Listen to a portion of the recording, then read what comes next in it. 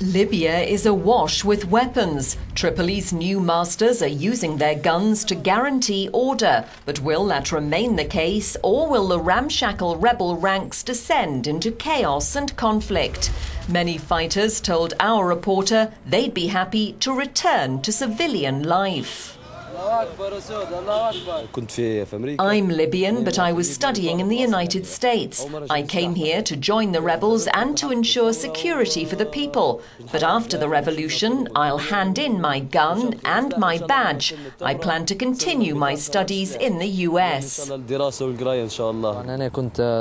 Some, though, like this man, are embracing their new way of life, although they're eager to do so in a structured military environment. I was studying architecture at university, but I quit and joined the rebels here in Tripoli, and I'm going to continue on this path in the army to free Libya and finish with Gaddafi's regime.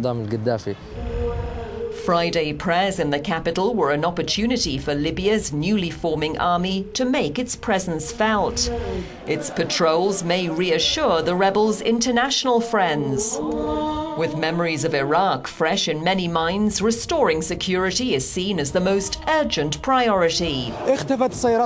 Our reporter says tanks have disappeared from the streets of Tripoli and armed men in civilian clothes are being replaced here on Green Square by uniformed men of the new army, destined to ensure the security of the population but also to collect thousands of weapons now in the hands of Libyans.